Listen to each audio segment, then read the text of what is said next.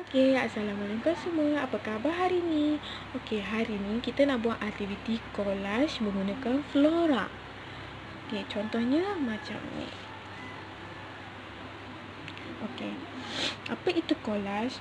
Collage ialah teknik tampalan untuk menghasilkan pelbagai karya lukisan, gambar atau rekaan.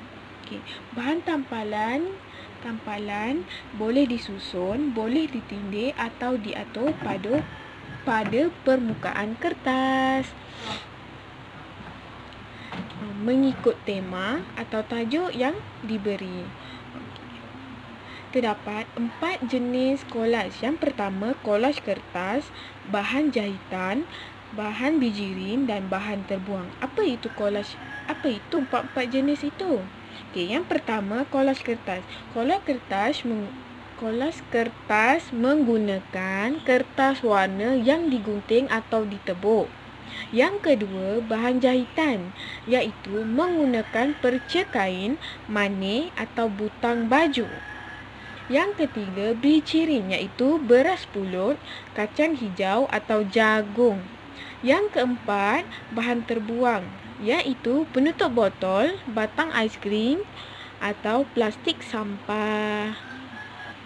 Okey, bahan-bahan yang kita gunakan ialah kertas warna, gunting, gam dan bunga pilihan-pilihan kita yang ada di sekitar rumah. Okey, dan hasil akan jadi macam ni. Cantik tak? Okey, seterusnya minta anak-anak buatkan minggu kreativiti anak-anak tampal buatlah bunga atau corak-corak kita letakkan gam dan kita gam di atas kertas yang kita kertas warna yang kita sediakan tadi. Okey, kita letak gam.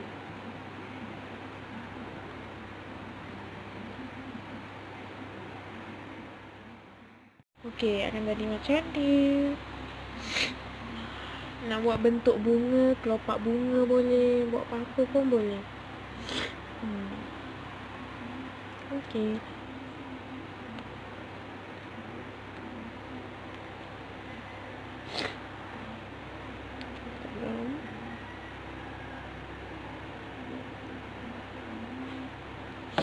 Okay, kita tampal sini.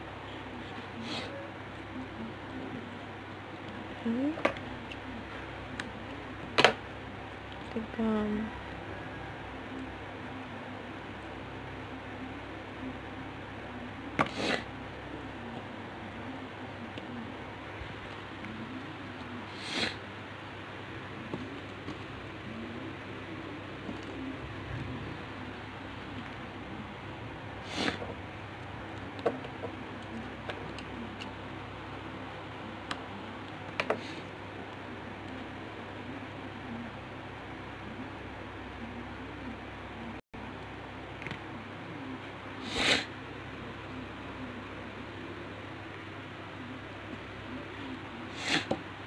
Okey, itu saja. Selamat mencuba. Assalamualaikum. Bye-bye. Sekian, terima kasih. Hari ini kita nak buat aktiviti mengenal huruf. Aktivitinya ialah chop menggunakan jari chop huruf A. Okey, bahan-bahan yang kita perlukan ialah kertas A4, marker dan watercolor. Tuliskan huruf di atas kertas A4, huruf A, B, C sampai Z. Kisah huruf apa? Okey, hari ni kita buat huruf A dan huruf B. Okey. Okey, seterusnya sediakan warna Biasa warna apa okay, Kita juga boleh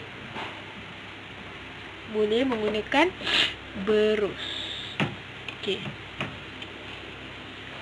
Okay, dengan menggunakan satu jari Kita cop Kita cop Ambil sikit warna dan Buat ikut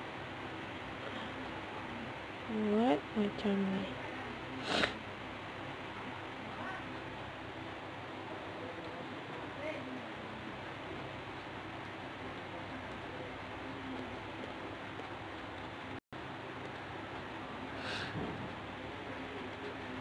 Okey, huruf A. Okey, seterusnya huruf B.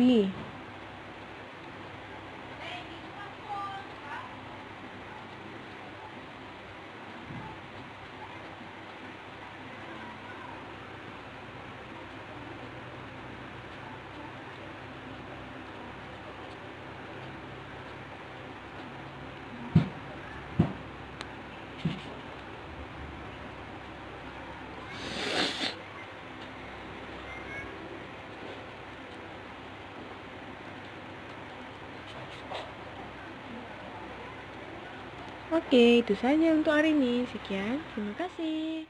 Okey, Assalamualaikum. Okey, hari ini kita nak buat lompat teng-teng. Okey. Bahan yang kita perlukan adalah kertas majung, marker. Okey. Yang pertama, lukiskan uh, setiap dalam kertas majung ada lukiskan kaki atau tangan. Tak kisah macam mana nak buat. Okey. Langkah-langkahnya, loncat di setiap Ni, contoh ni kaki. Lepas tu tangan. Lepas tu kaki balik. Lepas tu tangan. Kaki.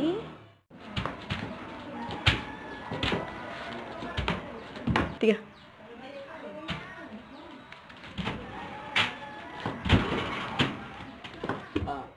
Okey, itu saja untuk hari ni. Sekian, terima kasih. Bye-bye.